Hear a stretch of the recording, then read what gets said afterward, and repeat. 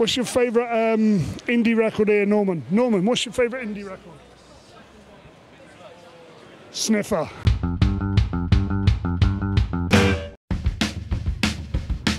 Fat Bob, the rock doctor, the punk professor, once again, is going to help the fucking music industry. So we're at the Independent Market Stall Day or something. We're in Spitalfields Market, East London, so no one has taken my advice and bombed this fucking place to the ground. Loads of legends here. There's um, XL, and then there's Warp, Domino. You must have heard of Domino. And we're going to go and talk to them all and have a bit of a laugh, really. What the fuck is up with these indie fucking dipsticks? I come here, they say come and sell you your records. I've got no stool. I could sign this for a fiver extra. Tenner extra? Fifteen pound. No one will nick this shit.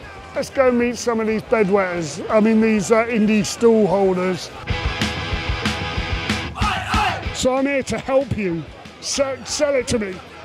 Uh, one pound. This is no good. Check this record out. Five pound. Last fucking copy. Five pound. Look at Louise and the pins. Brilliant. Don't tell Laura. Sorry, Mrs. Marlin. He's still got Zoo Kid records. They got found while I was. Uh, Oh yeah, found. Found on his eBay account that hadn't sold. Three pound. Three pound. Fat Bob will give you advice. It'll make your label better. Believe in Toy. Believe in it. How can you play this? This is as useless as a fucking cassette. This week's album from the Wave Pictures. There'll be another. There'll be another one next week. Tim Burgess. We're trying to prove who's the most indie person here. And I've been reading your book, and you reckon you're indie. So I'm going to have a crass lyric competition with you. Right, so let's do Banned from the Roxy.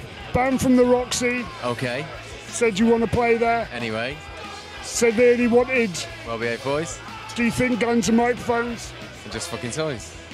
See, this man is a fucking indie legend. He can sit, he's a Crastafarian. Do you need my advice? We need a shot in the arm. A shot in the arm from you, please, Sean. Why do you carry on wearing shirts that are like a bit like Morrissey? I don't. What shirts do you wear? You never wore anything like this. This is Christian Dior.